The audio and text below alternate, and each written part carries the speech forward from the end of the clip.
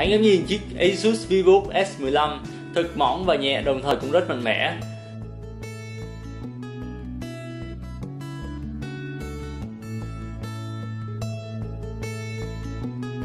Điều đầu tiên, Vivo S15 được thiết kế cho lối sống năng động, ưa di chuyển. Với thân máy mỏng và trọng lượng cực nhẹ, máy có thể bỏ vừa vặn vào trong túi của bạn một cách dễ dàng, luôn sẵn sàng đồng hành cùng bạn đến bất kỳ đâu.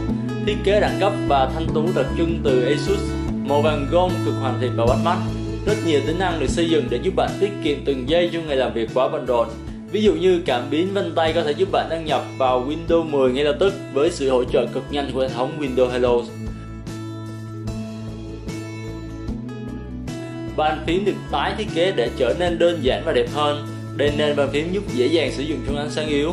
Một bộ cổng kết nối đầy đủ, thỏa mãn mọi nhu cầu của bạn.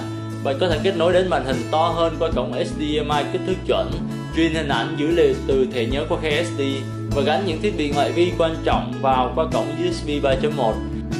Với VivoBook S15, bạn có màn hình 15 inch trong thân máy 14 inch với công nghệ Nano Edge vì màn hình mỏng chỉ 7.8mm và tỷ lệ màn hình so với thân máy thật ấn tượng.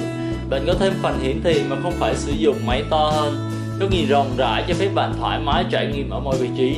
Công nghệ Splendid tối ưu màu sắc cực mạnh tạo nên tông màu hoàn hảo dựa trên sở thích và hoàn cảnh sử dụng. Trong khi đó, Engine True to Life tối ưu video trên từng khung ảnh mang lại hiệu suất mượt mà và hình ảnh trông rõ. VivoBook S15 trang bị vi xử lý Intel Core i7 và 8GB RAM đạt được yêu cầu về hiệu suất của thiết bị di động chuyên nghiệp hiện đại. Nhân đồ họa rời NVIDIA cung cấp thêm sức mạnh khi xử lý chỉnh sửa video hoặc chơi game nhẹ. Vivo S15 có thời lượng pin dài giúp bạn sử dụng dễ dàng trong cả ngày. Công nghệ sạc nhanh giúp sạc từ 0 đến 60% chỉ trong 49 phút. Asus Vivo S15 vì thật bóng nhìn thật đã.